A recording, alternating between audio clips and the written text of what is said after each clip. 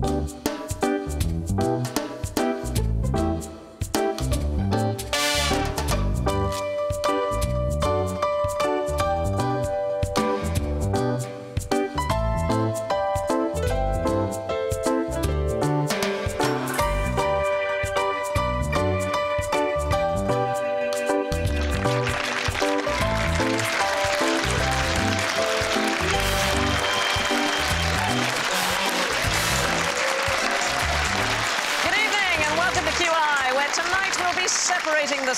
from the sinners. I am your heavenly host, and joining me are the virtuous Johnny Vegas,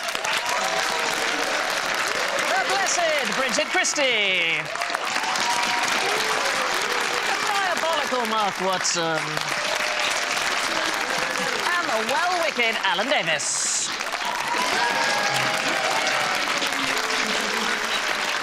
Right, let's see if the devil really has all the best tunes. Bridget goes.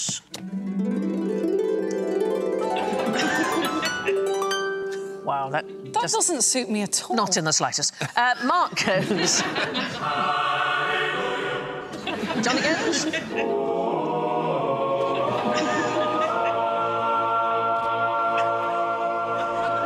and Alan goes.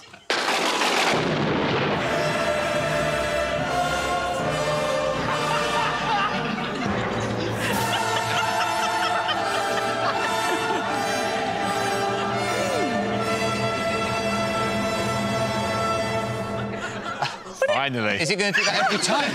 Would it not be great if every time you opened a door that music played? I think. Every time you opened your fly. Uh, right, I think we can take our halos off. We begin with a question about not shaving and soul saving. Are beards good or evil? Oh, that's a bit I want the whole thing. I want the whole thing. It's like you're not the devil after all. No, I've no idea. I just wanted to press my button. Good, they're good. Jesus had a beard, and, and at least he's depicted in all imagery as bearded. Yes, he is. He's isn't he? famously good. Yes. Anybody else? Well, I, I would argue there's baristas.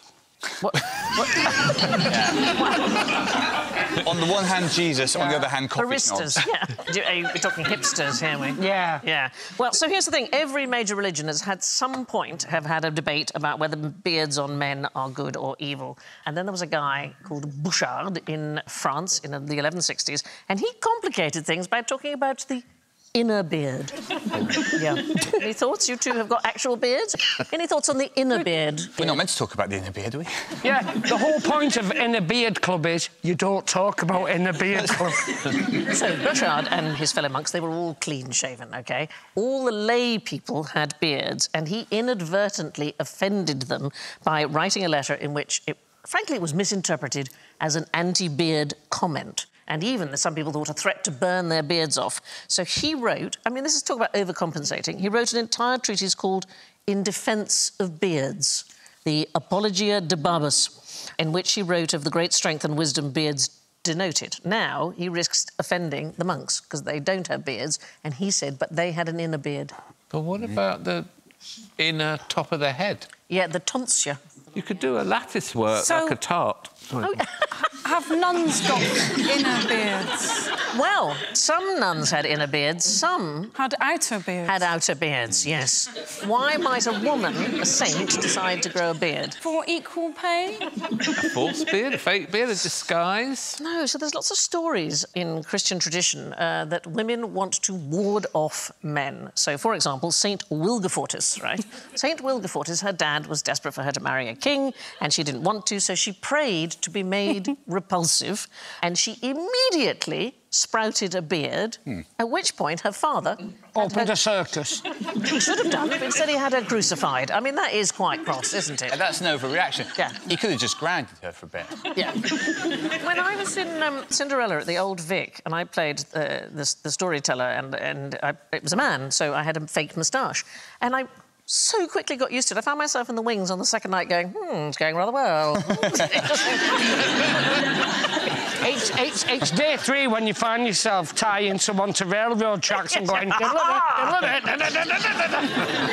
so what do we think about moustaches? Like them, don't like them?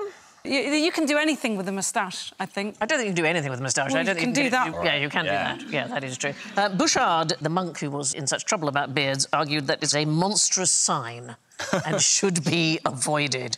And in fact, it has caused controversy in the past. So in April 1907, all waiters in Paris's top restaurants went on strike over the right to grow moustaches. And the strike cost the industry 25,000 francs a day. It was quite a thing. And it led to assaults on clean shaven waiters who were still working. Why do you think moustaches were banned? Um, Hygiene's the only thing I can think of. He had long moustache before it dangled in the soup. I know. this is around the time you first get modern restaurants in Paris, and they wanted to recreate the experience of dining in an upscale home, and domestic servants were not allowed to have facial hair. For a long time, I just associated it with geography teachers. That and corduroy. Yeah. Was, And they're all a bit undernourished as well. Everyone in the geography department was a bit skinny and bearded and in corduroy. Yeah. And they, and they looked like they were on the verge of orienteering at the drop of a hat. no, there- there- there's a real kind of moustache on a teacher like that when you walk in and you go, divorce. housemate, when I was at university, he had to shave twice a day. He had just very rapid growth. And I can see, I can see if he had extremely rapid growth that you would just give in and have a yeah, I beard. just think can't be. What did he shave twice a day? Everything or just one? Just his face. Right. But was everything else growing at I the made no inquiries about Right. everything else. There's certain blokes, and here looks like that, and then the rest of them looks like an untamed gorilla. Sometimes you get a surprise hairy back. Like someone you wouldn't expect. do, do you know? Do you know what I do? I just put loads of double-sided tape against the wall and throw myself at it. you want to throw the cat? you peel her off and there's a cat shape. Worst you realise you live alone. You've got to ring a friend. Can you come and get me again? Uh, have a look at this. This is a very strange idea of possible method to improve shaving. It's a satirical print, I have to tell you, from 1749. A horse-powered mass shaving device. So you put your face in a hole and the razors whirl around on the inside. it says it, it says on That's a lot of pressure on one horse, isn't I it? know. Not to... It says it can shave 60 men a minute and also oil comb and powder their wigs. There'd be some fatalities, I imagine. You I mean, if you got it wrong. Yeah. What a way to die, though, being shaved by a horse. Yeah. One bloke thinks it's a peep show and he loses a nose. It's like yo, yo sushi. But It is like Yosu. It's like the, but also, it's where they got the idea from. Yeah. yeah. But if they, so the blades are going to cut one fellow and then and then cut because they're going around. It's the same it's one cheek at a time, I imagine. Or you'd end up with more hair if you were at the end. Well, off the razor. Yeah. I don't know, Bridget, if it's possible you're overthinking it. I, I, I have got that. How would you learn how to shave somebody else, do you think? They used to do it with cut-throat razors, but you don't want to start on somebody's face. On a dead person? Wow, that's dark. Uh, no. Well, you know, you're... It's, it's just worrying how quickly you came up with that. Yeah. Because there's no... It's quite risky shaving somebody Yes. if they're already dead. I suppose the stakes are low. yeah. I want to go to barber school, but it gives me nightmares. I was going to say a balloon. I know, a balloon. balloon or a corpse, whatever. Look at all those weird dead people. No, it's, it's a balloon. I mean, it's... They Do, didn't do- do pop you know it onto what? the morgue and go, I need to practice me Have you got, cut-throat have you razor. got died with a I bit? think it's Yeah. much better. I'm, uh, I'm sorry for your loss, but I'm a barber in training. Yes, you're fine, Sarah. Hi, would you, would you like to see the body? That can't be Daddy. He had a massive beard. It'll be less frightening because those balloons, they pop very easily. And I would have more nightmares popping a balloon with a like- weird face drawn on it. You don't like popping balloons, do you? I think that's your go-to answer on anything. What's the best way to learn chiropody? On a dead Dead body. person. Paula the Bearded grew facial hair to save her soul. But what's the best way to weigh our souls?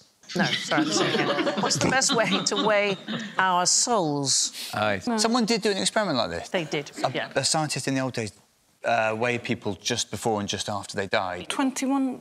21 grams. Yeah, he was. Yes. Yeah. It's an interesting question. Does the human soul have substance? Does it have mass? So there was a doctor in Massachusetts called Dr. Duncan McDougall in 1901, and he decided to fit a bed with weighing scales, and he got six dying patients to lie in it in their final moments, and then he recorded their exact weight just before they died, and then just afterwards. What I like about this is, first of all, he persuaded six dying Six? people. Yeah. Six, Yeah. yeah. Yeah. He specifically chose people who had got conditions caused by physical exhaustion, so things like TB, for example, because he wanted them to remain still so he could get good measurements. it wasn't a flawless experiment. I have to say, one patient was thoughtless enough to expire while he was calibrating the scales. So he has to stand them on the scales. No, no, the bed is on scales. This is quite an elaborate machine. Yeah. He measured one subject as losing 21.3 grams when he died, and he concluded that must be the weight of the soul. And for a very long time, that is what people thought. People thought the soul weighed about 21 grams. So they carried on making more experiments because he wanted to make sure. So he got 15 dying dogs. I mean, I don't know where you get them from. Is your dog dying? Can I weigh it? Well, he believed that dogs didn't have souls, and uh, sure enough, uh, none of them lost any weight when they died. they didn't lose the 21 grams. I don't know, what does 21 grams weigh like? I know that if you're making a macaroni cheese for Yeah. the family, you need 40 grams of flour. Imagine the idea that your soul weighs half as much as you need of flour, Flour. to make a macaroni cheese. It doesn't seem like a lot. Well, the fact is, uh, two of his six subjects didn't give any measurements at all. But also, at the time, there was a physician called Augustus P. Clark, and he noted that there's often a sudden rise in body temperature when people die because the lungs stop cooling the blood, and as a subsequent rise in sweating, and that would account for the 21 grams. That makes There more you go, then. sense. Right. Why should you never envy, sloth, lust? Oh, look at his little face. What, the three sins or the... Well, so it depends which way we're going. Let's talk about sex with sloths first, Charlotte. Why Yes, not? please. It'd be weird if we didn't talk I about tell it. you, I'm, I'm first in the queue for that one. Isn't he the s- or she? I don't know. He or she. There's a look on that face, isn't Yeah. I mean, I, there? Ready, ready. That That's come to bed, no. I, would, I, would, I would not be kicking that out. No, that is a, Of whatever tree you were hanging in. That is definitely a come hither look, isn't it? That's is, a- really so is. sloth sex begins with the female screaming at the top of her lungs that she's available. Oh. Ah! And then the male slowly. Four years later. Yeah. Slowly the man comes. Did you hear that? Before copulation takes place, he comes slowly towards her. Then it lasts as little as five seconds, and that includes the foreplay. Yeah. Well, well, I think she's probably sorted herself out before he gets there, hasn't she? Do you reckon? Well, And then, She's, like, she's I've been screaming. I love the turn of Yeah. phrase. yeah. I sorted myself out before you arrived. Yes, you were too slow, I'm afraid. I've had to sort myself out. Uh, stopped at the pub again.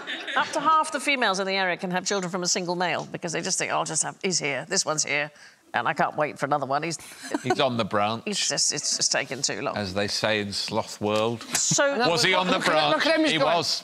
I'll be with you in a minute. Just fix me wig. Yeah. Really, reminds me of somebody, and I can't put. It's Ozzy Osbourne. It looks just like Just Ozzy like Osbourne. Osbourne, it does. Did you say sloth or sloth? I mean, both are correct. I say sloth. I say slow. Yep, I say sloth as well. I don't know what. Anyway, it was uh, the, so the sloth itself was named after the sin. You see them in, uh, in, the, in the trees, obviously, and they go along the uh, telephone wires, kind of hanging upside down. It's quite impressive. You know, this sort of all action hanging upside down, go from tree to tree like that. But you want to be careful though if they're above your head because a sloth can poo one third of its body weight in a single go. Oh, it's so impressive. That's amazing. That's, That's amazing. weight loss right there. That's 20 to 5 to 30 kilos for me. That's you know. If if you look at that photograph, the, the thing that's intriguing me is that eye there looks like I'm in the mood for love. And then that one looks like, did I leave the grill on? It does.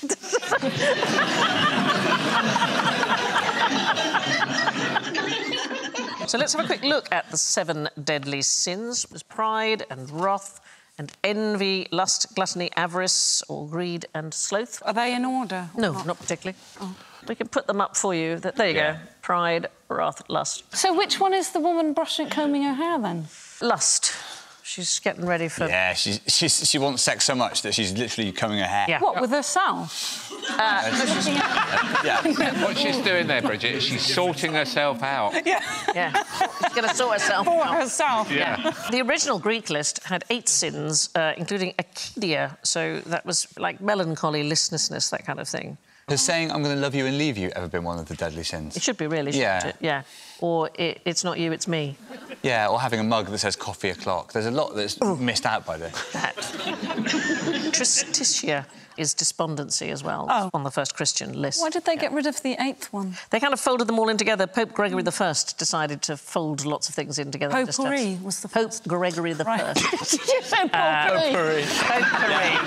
Potpourri? I, I cannot believe there isn't a pope called Yeah. Potpourri. the most fragrant surely. pope of them There all. should be. Surely. Come on. Uh, why did this guy get so many column inches? I know, I know this. Yes, because I'm, I'm, I'm willing to wait. the saint blokes, uh, monks Saint who blokes. stood up on pillars. Stylites? Yes, that's exactly Stylites. what I They're was called going to say. stylites. People who deliberately lived like that. Yes, darling, absolutely. People who deliberately lived like The, the that. David Blaines of their time. Well, so we're talking about a, monk called Simeon, and he could like suffer more than anybody else. Uh, we're in Syria. We're near what is Aleppo now, 423 AD, and he decided Simeon that he wanted to live an incredibly simple life. So he was going to decide to live on top of a pillar, 60 foot high pillar, two foot square. Okay. Now he built up to this. You don't do this. That's not the first thing you decide. First, he entered into a monastery and embarked on a lifetime of austerity. Uh, even the other monks thought it was a bit too extreme. He dug a waist deep hole in the garden and stayed in that for two years. And then the monks threw him out. So he moved into an empty cistern for a while. And then, aged 20, he had himself chained into a two square yard roofless sort of enclosure. £1,000 a week in London. Yeah, eventually he climbed a column, uh, 60 foot high, and lived there. And he became known as Simeon Stylite, or the Stylite. And he stayed there for 40 years. And unfortunately, he died the year before Top Trumps was invented. It sounds quite mad. Quite bonkers, darling. He was fed with parcels of flatbread and, and goat's milk. We don't really know how. Either he lowered a bucket down or said small boys would climb up and, and give it to him. The thing is, it had the opposite effect of what he had intended. He was trying to get away from Away the from people. And everybody went, oh, I want to go see the crazy guy who lives on top of a pillar. And huge crowds used to come. And then he would either stand with his arms extended like that, or he would repeatedly touch his toes with his forehead, like uh, as many as sort of 1,200 times while the audience shouted out the count from down below. And then he would defecate a third of his body weight. I'm an avid collector. I'd turn up and go, Where'd you get the column? Yeah, well, it's an interesting thing about the column, darling. So this is 423 AD when he decides to take the. When do you think the column was destroyed? How long do you think it survived for? The When column? it's near Aleppo, it makes me think, was it one of oh. those recent antiquity 2016 was oh. destroyed by a missile. Oh. I know. It's, Oh, re- really? yeah, yeah, yeah. It stayed there for all that time. Oh. I think it became a, like a thing in America as well. Well, there is a sort of spiritual descendant of it, which is the flagpole sitting craze In New York? In, in the United States. So there was a guy called Alvin Shipwreck Kelly, and Yes, the Irish guy. Irish guy. Uh, so Yeah. there was this, this is him sitting on top of a pole. It was a big craze in the 1920s and 30s, and you see how long you could stay on top of a public flagpole. He was called Alvin Shipwreck Kelly because he claimed to have been in 62 shipwrecks in his life. but have a look at the next picture. He didn't just go and sit on a flagpole. This is him uh, on a building, the Chanin Building, opposite Oh, the Empire. State Building. Oh, my- Having um, having donuts and coffee.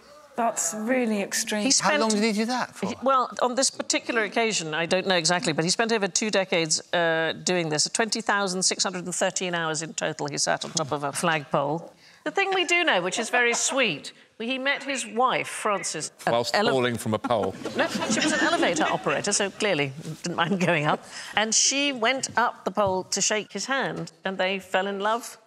And he ah. married her because she went up to ah. say hello. And then she plummeted to her death. It is an extraordinary picture, isn't it? The thing that you have to think about the photograph is that somebody was higher up than him. Right. What's transparent, consistently thick, a bit of a pain, and comes from St Helens? Hello, mate. Is it a piece of glass? It is glass, absolutely. It's the second best thing to ever come out of St Helens, after our very own Johnny. Yeah, glass. See? And we, we invented two things we invented. Go on then. Float glass, Yeah. which was floating the glass on hot tin, so you didn't have to polish the other side of the glass. And we gave the world porn because we came up with fibre optics. You're absolutely right about float glass. It used to be very expensive to make perfectly flat glass. And this guy, Alastair Pilkington, in the 1950s, he realised if you pour molten glass onto molten tin, then it lies completely flat. And it cools and hardens, and it made it uh, so much cheaper. Other heroes of St Helens, uh, the first photographs clearly showing a human face were taken by a son of St Helens, Really? Mm, John William Draper. And his sister Dorothy, they worked out new ways of making uh, what were called daguerreotypes. They put uh, flour on the women's faces to try and get more contrast before taking the shot. He's also the very first person, Johnny, to take a picture of the moon. I never knew this. Did you know that the largest bug hotel in the world is in your former school? They have a bug hotel more than 80 cubic metres in size. It's the largest one in the world. Oh, wow. You must be proud. I've always been proud. I'm always... I'm just dead chuffed with this. What's the What's the Bug Hotel? A bug hotel? Well, you um, build them and it's where bugs hide when, not- in winter. Yes, you should. If you have any outdoor space of any kind, it's a really good idea to try and create a bug hotel. Can you Can you charge them like a normal Yes. hotel? I mean, it depends on what services you're offering. Yeah. If you, if you turn down the beds at night, that kind of thing. Room service. Oh, Little chocolate on the pillow. I'm just dead happy to be talking about St Helens on telly. that's so Thank you. No, it's a pleasure. It is. We were, we were innovators back in the day. And then Thatcher! If you if you're Oh, as close to him as the I am, 80s. that, that was quite frightening. It was quite Sorry. One answer to everything. that, that would have come out in a different question and it wouldn't have been apt. I thought he was going to deck Um, me for a second. I'm glad you're all right. Uh, I love my hometown. You really, you really. Ooh, oh, I'm so. I can't. I'm, I'm, I'm, I'm lost for words. It's lovely. Right. Who was younger than James the Younger? James the Even Young. His,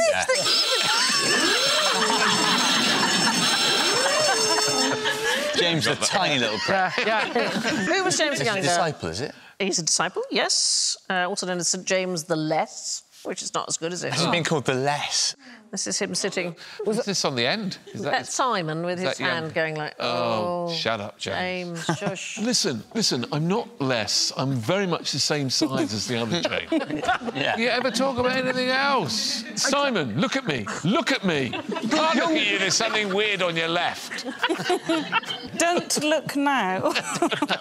So Saint James the Younger, some people think he's identified as one of Jesus' brothers, and I love a relic. Okay, and for more than 1,500 years, the Saint Apostolic Church in Rome had had fragments of a thigh bone that belonged to James the Younger. I mean, who wouldn't want to go and see that, right? Fantastic.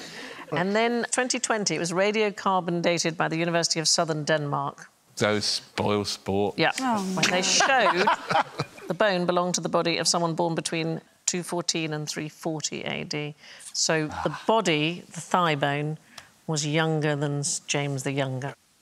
Uh, so that's holy legs, but why might you come home from a pilgrimage with a vagina? So, just like today, medieval holy sites did a roaring trade in souvenirs, and people brought back badges as tokens of the journey. And they were often in the likeness of saints, but sometimes they were much, much weirder. And I have a replica here. Let me show you this one. This is a replica of a 14th century Dutch vagina shooting an arrow on horseback. Oh. You don't often see them do that. You don't. You don't. I can also offer you. I have here a, a phallus. Um, I, a phallus with an, know if it's a man or a woman pushing a wheelbarrow of phalluses. I didn't think you could top St Helens, but Yeah. this is really. These are replicas of the various uh, badges. Uh, what else have I got here? I've got I've got a penis on a boat. I don't know why. Um, I know, but I know, I know. We've but- all met those. But Yeah. I'm sorry. the guy on the on the, the fallacies. yes, the fallacies. There, on yes. the top one, on to the left. Oh, this one here. Yeah, he looks like he's got a penis puppy farm. It looks like it's selling fireworks. I, be like um, little Monopoly. Um, Oh, that was a good idea. The, um, Do you want to be the penis or the vagina? can I? You've not been buying fireworks off that bloke with a massive cock again, have you? Is it ever called a badge badge? Stand up A badge badge, yeah. Can- I like that. Yeah, I just I think this is Yeah. a thing that can be monetised. I might as well I think copyright badge that. badge is good, yeah. right, now prepare for Judgment Day as we enter the limbo of general ignorance. Fingers on buzzers, please. All right. Where would you find the largest body of water in Africa? It's not going to be that massive, massive lake. Is it going to be the Nile? Is the Nile the largest body? of- Oh. Ah. Is it therefore that massive, massive lake? That massive, massive lake. What, what lake are we talking Is it about? not Victoria? No. Hmm. Is it a too. river that goes into a lake that never ends from one top to the top of the continent to the bottom or something? Are these all traps and it's just someone with a massive paddling pool or something? Yeah, no, none of those things. Is it underground? Yes. oh, It's underground. It's is it a underground. reservoir? Underground, it's the most unlikely place. Ah, thank God. I was just Sahara Desert. It is exactly ah, right. Is it? 50 points. Yes, well done, Alan. Very well done. Underneath the eastern end of the Sahara lies around 150,000 cubic kilometres of water. That is three quarters of the total amount of water held in all lakes in the world. It's basically a huge mass of very wet rock, and every single crevice, every nook, every cranny is filled with fossil water. So, water that's been trapped deep underground rather than it's part of the water cycle. And the Nubian sandstone aquifer system uh, is the largest known fossil water aquifer system in the world. It spans a land area of 2 million square kilometres, lying under much of Egypt, Sudan, Chad, and Libya. Right, what does this stand for?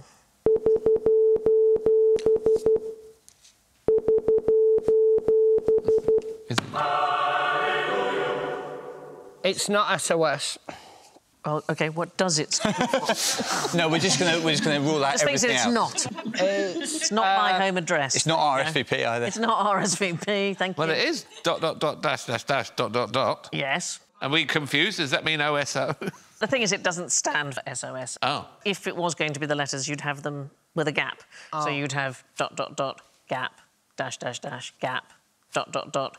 It's a continuous stream. We say SOS is a convenient way of remembering what the signal is, but it could just as easily be rendered as VTB and remembered as vacate the boat. Uh, the thing is, the distress is universal. It doesn't depend on language. You don't need to know what the SOS stands for. We just know that that is the signal. Before that, uh, they used to signal CQD, and then it was agreed in 1906 that they would make it simpler. There was a big uh, international wireless telegraph convention in Berlin, and that's where we get the SOS from. But it doesn't actually stand for Save Our Souls. Or... And then they invented texting. It took a while to catch on, actually. When the Titanic went down, they still transmitted CQD. They might think it was SOS, but it was not. And so it's time for another SOS Sandi's horrible scores. Let's see who's on cloud nine and who's in the sin bin. In fourth place, languishing in the pits of eternal damnation with minus 22. Oh, Alan. In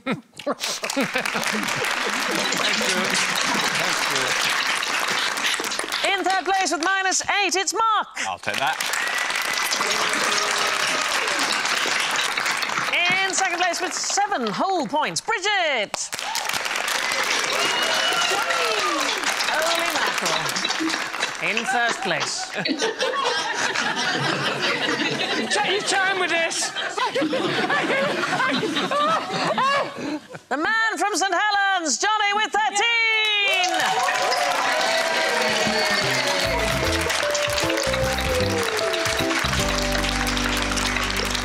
All that remains is for me to thank Mark, Johnny, Bridget, and Alan. And I leave you with a sagacious sign off from Audrey Hepburn.